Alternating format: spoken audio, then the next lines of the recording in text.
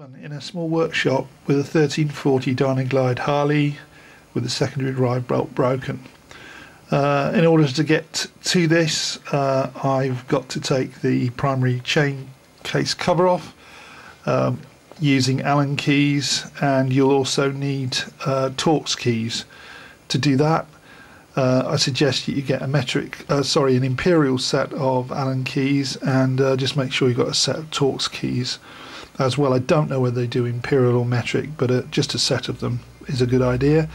Uh, and a rawhide mallet, so that when things are removed, you can just gently tap around, take about three or four minutes, just be nice and gentle. And then this, which has never ever been apart in the 13 years of the bike, this will all just, just gently come away. Um, if you drain the oil first, there's a little drain, uh, little drain plug that sits uh, right behind this clutch basket, actually on the primary chain case cover, then you save yourself a fairly serious load of oil spillage when you when you pull this um, away. Yeah, it's probably pretty obvious, but uh, I also tend to uh, mark the length of the uh, screws uh, and sort of draw things down and also photograph things. Got a mobile phone that will do that, so and then bag things up. Yeah, it's a really good idea. So those are long and short screws, the positions on the primary chain case. You can just pull the cover off but be prepared for a hell of a lot of oil to fall out. Um, I think that was the amount of oil that came out of it. Um, and that's the case itself. It's a small workshop as you can see.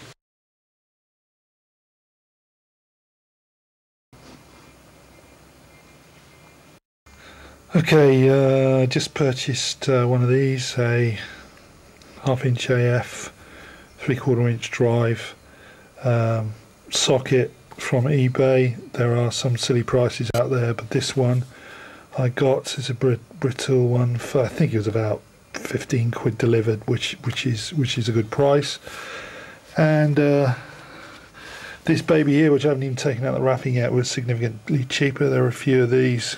Um, this one is an inch and three sixteenths. Uh, you're going to have to have uh, imperial stuff to do these bikes. Um, yeah, and that this guy just fits on here. I'll talk talk about that in a minute.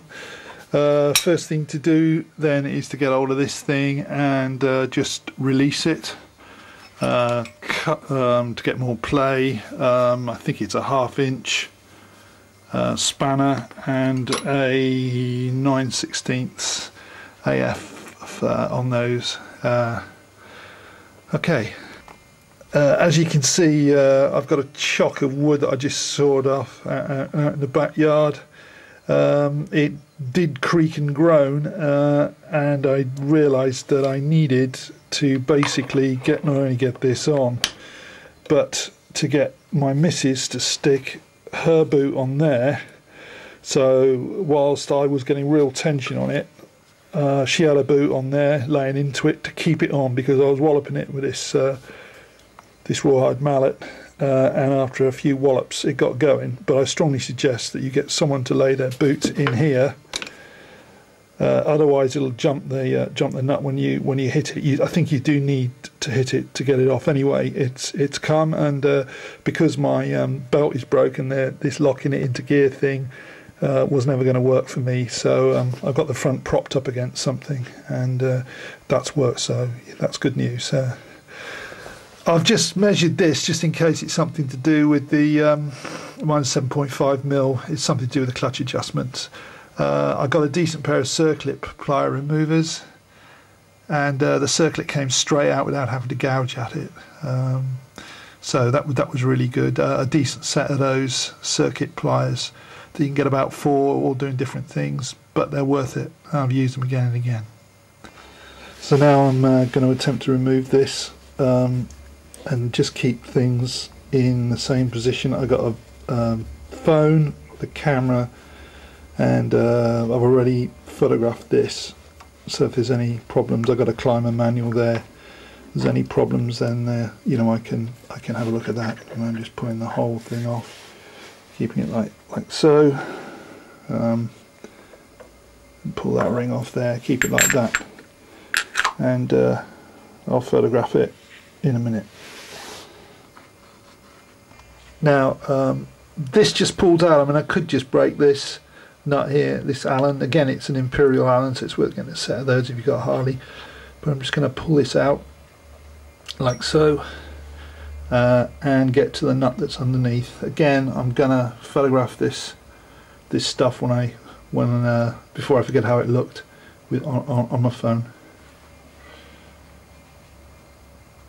Um, yeah, I've, I've just wound this out. Um, so uh, I've got to do the uh, tensioner next, uh, uh and then the whole caboodle should just uh, just prise off with the chains, the two sprockets. This uh, is free to rotate now, so I rotated this block of wood out from underneath the sprocket, and I'm going to use this screwdriver now. I think just to prise it off getting it in there just to gently prise it off, trying to cause just get as little wood to drop in. I mean, I know it's crude, but you know, uh, there was no special tool available in this country, and getting anything from the States, it's just twice the price of the product to get it sent. and That's come out, and as you can see, there's uh, quite a lot of the wood took quite a beating, but it's just a piece of gash wood, probably about an inch wide. So really, really happy did its job. Alright, and now uh, 9 16th spanner here We'll loosen the uh, tensioner, giving it a bit of a tap with the old rawhide mallet. Normally I hold this, but you get the idea. Uh, and that came away quite easily. So, uh, yeah. Alright, the uh, nut and washer have come off, and uh, this, the bolt is captive in here. It's on a grid sort of slider here uh, and uh, I this ain't going to come off. It'll just sit right around the chain as far as I can see. Uh, if there's any change, I'll let you know. But uh, this should just all pull away with the, with the uh, two sprockets.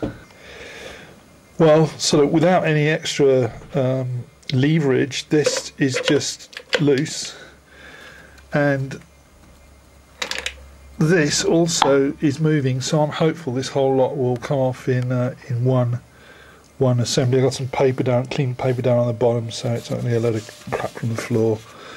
Because um, I'm working in a in a really tiny, tiny room here, uh, so uh, yeah, things are a bit tight. I mean, if I had two garages, it would be different, but there I don't. About 30 seconds later, uh, it's all just pulled off really easily by hand.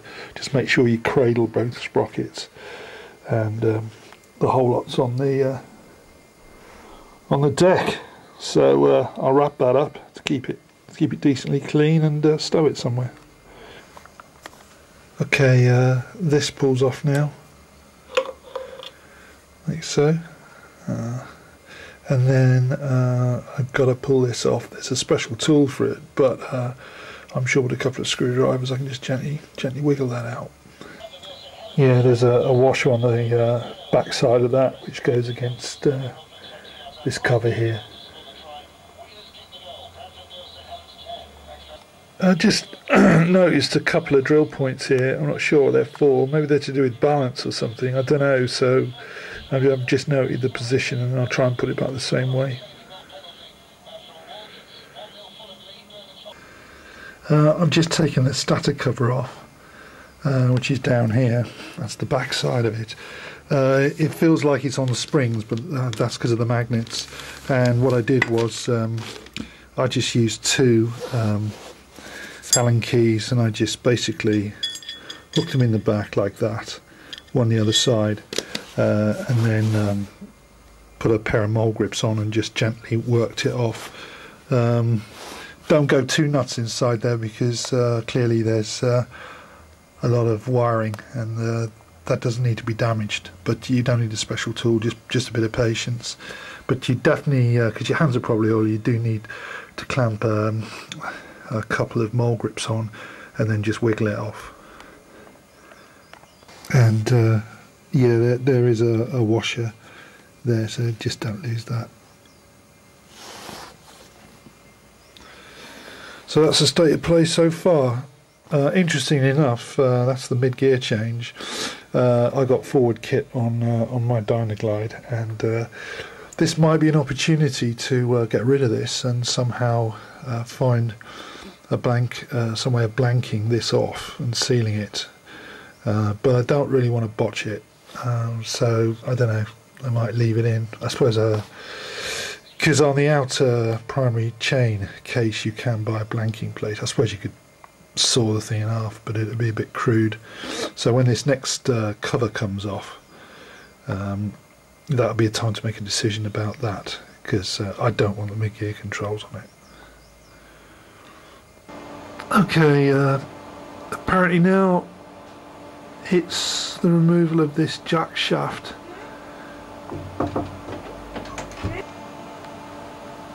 Okay, um, word on the block is that um, the starter motor doesn't have to come out to get this uh, in inner primary chain case off. I've just got to get this bolt off, not the tab washer back. I've gripped it with mole grips and um, put a rag around the threads, the splines, so that mole grip doesn't damage it. And that's just a simple screwdriver. It's a metric one actually, um, and uh, it's moved easily. So but it feels like it's under some sort of load, so I've got to be really careful it doesn't all spring out over the place. Um, yeah, well, let's see how it goes. Pretty inchy. Anyway, more importantly, uh, that's the shaft as it came out. I made sure everything came out together. Uh, so I'll wrap that up and put it away, and uh, that's what's left. Uh, so hopefully, uh, no need to touch the starter motor and all the grief that would go with that because I think it would be rear exhaust off, rounding nuts, cutting the nuts, nightmare. So let's hope this works. Okay, um, I'm on the other side of the bike now and uh, I'm just loosening off the um, starter motor nuts. I'm not taking them out, loosening them uh, and uh, I think that's the last thing before the primary chase comes away. Uh, I'll let you know.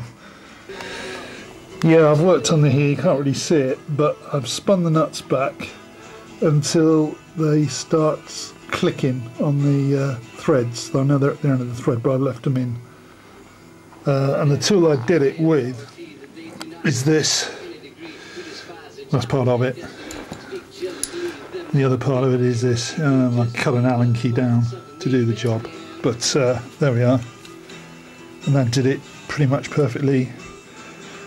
So I was pleased with that. So let's uh, see what what's gonna gonna happen next. Okay, and I'm locking these two guys, one there and one below.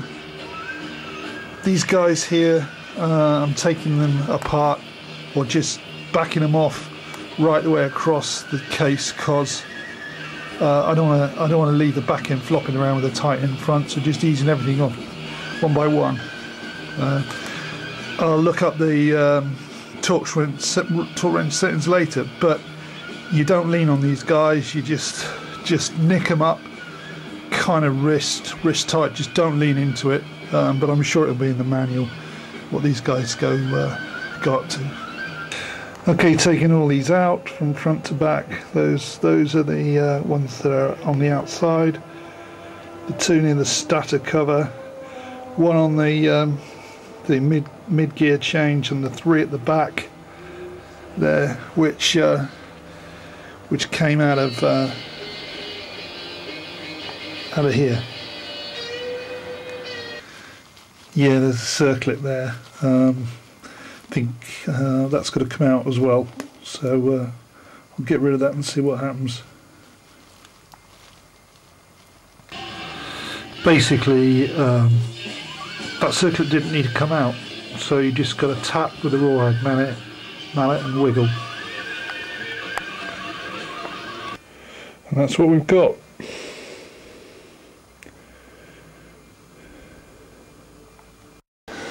Okay, so now um, there's a couple of bolts to take off this lower plastic chain guard.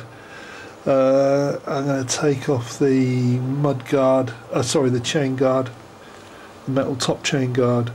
Then I got to loosen that off there and hopefully swing it out the way um, and then uh, see if I can slide the belt around the sprockets uh, obviously I'm going to have to loosen this spindle off and uh, bring the uh, spindle as far forward as possible to give me as much slack as I can uh, and hopefully I won't have to touch the swinging arm.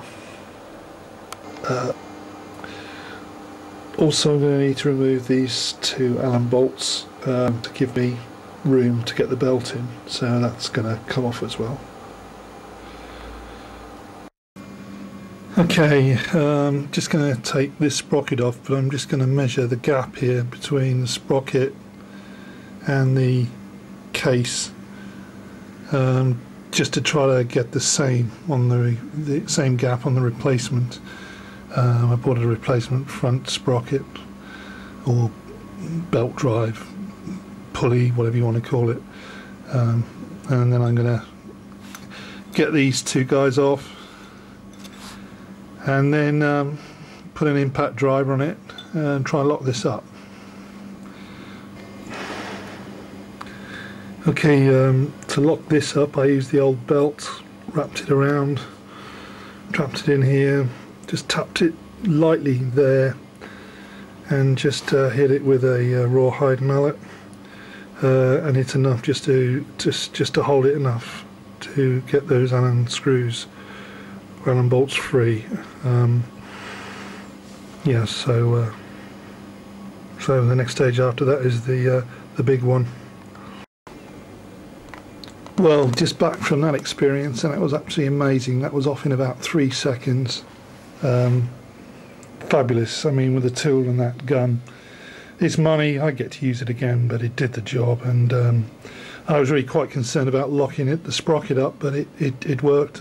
The, the sprocket moved a little bit, but uh, it was just shocking it off. Absolutely fabulous. Um, brilliant. So the front sprocket is off drive belt pulley and that's what it looks like with it off. Okay, uh, move forward a little bit now. Um, since we last spoke, uh, got the back wheel off, the uh, rear drive pulley came off and uh, went on easily, and the belt went on uh, just by loosening this and pulling it out of the way. The belt slides on around here and over the um, the front pulley. Uh, front pulley also went on using the, the red Loctite, uh, and uh, on my bike it only went up to 55 foot pounds, um, and uh, it, it, came up quite easy. I didn't even need an assistant. I just chopped the back wheel and uh, got the front wheel pushed up here against a concrete ridge, so uh, that'll work fine. it is worth saying that the the uh, Clymer manual says that you need to basically start uh, loosening these guys off at the back of the engine. And uh, there's a couple around the front here. Um, you're supposed to loosen these off uh, so the transmission and the engine can move about. Um, so that you can fix this guy up. You loosen them off fit this and then you you know when it's all fitted right you tighten them up again.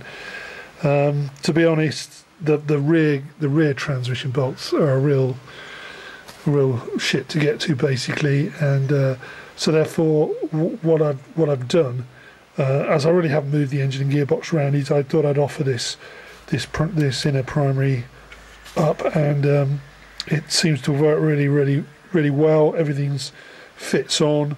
Uh, just cover this with tape so that uh, it doesn't wreck the um, the um, oil seal uh, so I'm hoping that's all right. I took some advice from uh, from a mate of mine who's done this job.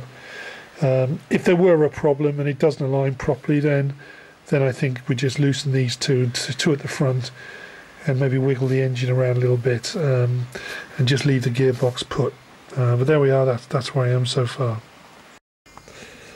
Um, yes, since uh, we last spoke. Um, that was my attempt at blanking off the um, cross shaft for the mid gear change, uh, silicon sealant plus um, rubber plus bolt, very very short bolt. Um, seems to have done a job. I'm quite happy with it.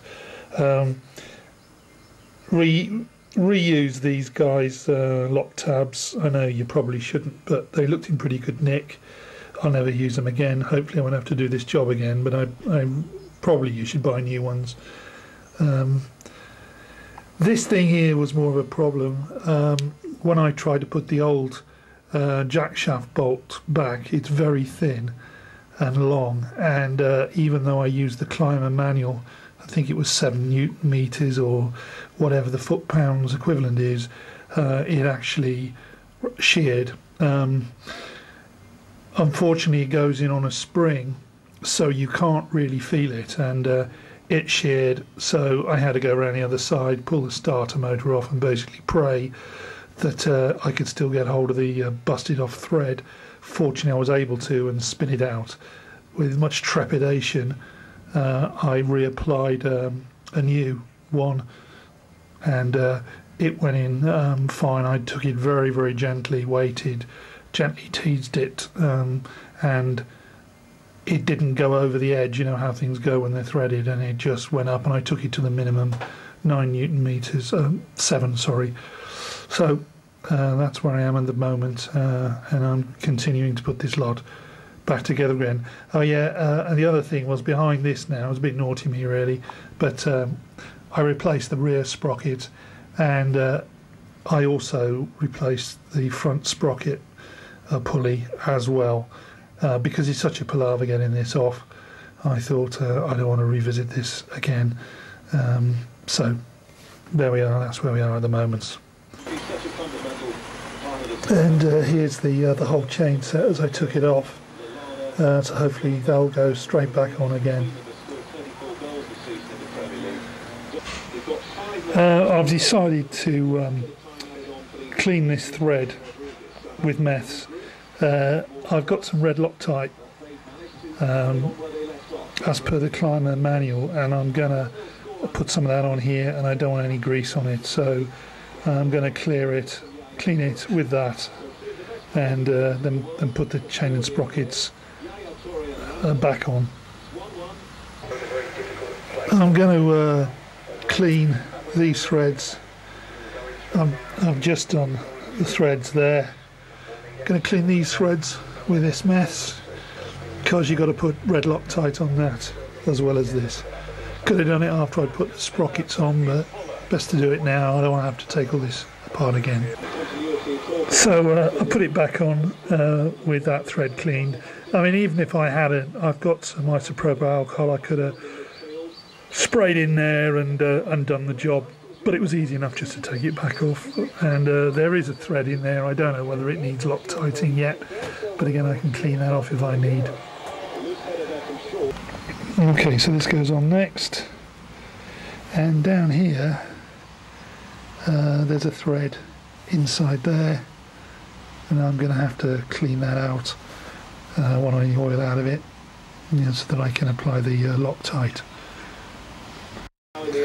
One thing I need to say is just make sure that behind all this, right next to the stator cover, is a washer.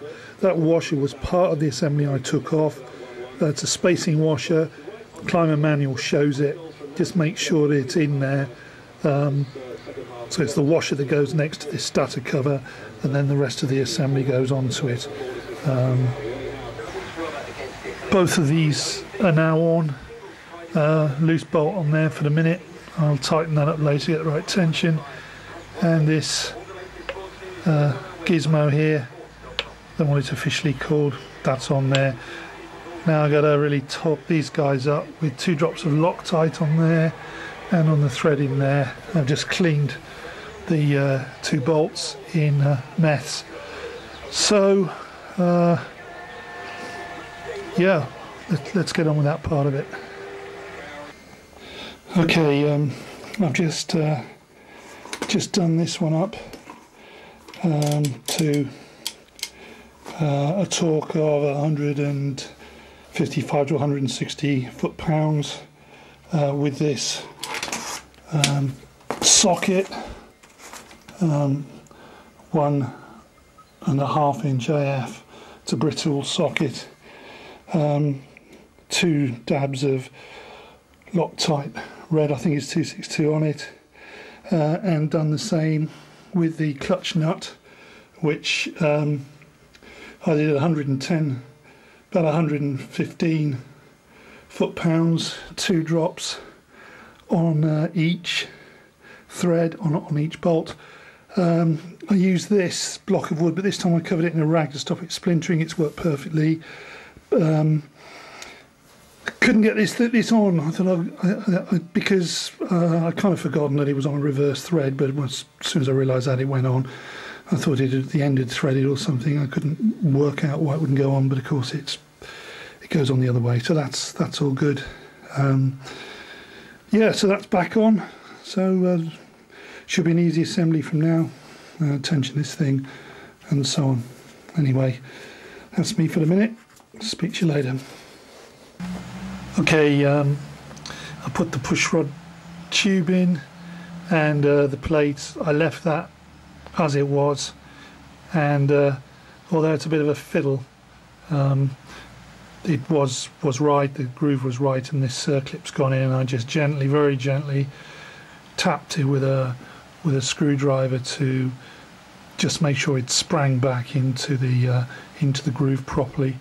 So. Um, that would appear to be uh, to be done. Now, um, I think I need to tension this guy. So finally, I've uh, tightened it up to 25 foot pounds. I use my camera to work out the position uh, of this. Feels about right. Uh, I'll check it again later. So all I got to do is put these guys on. Uh, I need to be careful to sort of put these into the right position because there's a bit of slack there. Can cut off bolts apparently and put them in and unscrew them later on, but I think I'll uh, I'll just work it gently with my fingers. Uh, just in case you just zing a bullet gate at it, and then it remains just to put on the, the footrest and the chain guard. I've uh, just put the uh, primary cover on. Uh, just a couple of things to say these two um, long bolts here, or long screws, there's a, uh, a kind of rubbery type washer that uh, you need to make sure doesn't fall off and uh, is basically um, sits properly inside there. That's easy to see with a torch. Um, I filled this, the primary chain all through that. Uh, the Clymer manual talks about uh, getting very long versions of these, cutting the heads off, putting putting a a, a, a, a slot in there so you can unscrew it because the uh, overall uh, gasket is very is very long and it's particularly the bottom it sags. Uh, I didn't do that. I was just very careful. Um, just just very gently worked the bolts in. Um, went round at the bottom. Just put my hand underneath it just to get it to uh, just to take out the slack and get the holes to meet up. Uh, I use a, a very thin uh, bolt just to wiggle it, um, or a very very thin screwdriver would do the same. But there's certainly no need for all, all that nonsense. Uh, and obviously brought these up by degrees uh, so that uh, you know it doesn't distort the the cover. That's all gone on fine. Uh, so there we are. Uh, all I've got to do now is just put these little bits on, uh, footrest and uh, and uh, drive belt cover, and stick the battery on round the other side. So uh, unless there's any other issues, uh, I'll sign out and hopefully that that helps somebody. Anyway, cheers, bye.